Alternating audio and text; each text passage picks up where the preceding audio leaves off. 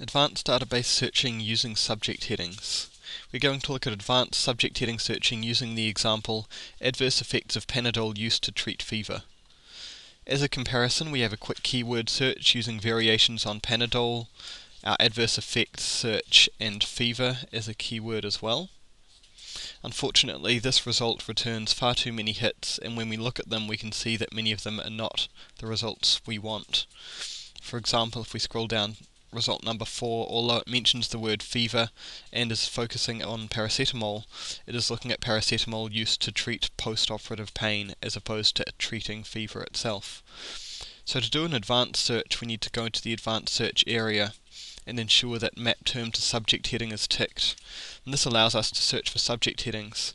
If we enter our search term Panadol, we see this rather odd looking subject heading come up, but when we check the scope note, we can see that this is in fact the correct subject heading for paracetamol. So if we go back, we can now view this subject heading in the tree by clicking on it, and we can see there are no subheadings.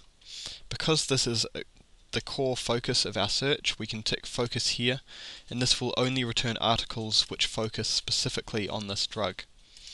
When we hit continue, we are shown a list of subheadings, Normally you can skip straight through these and not worry about them, but in this case it's useful for us to limit to the adverse effects area of this drug here.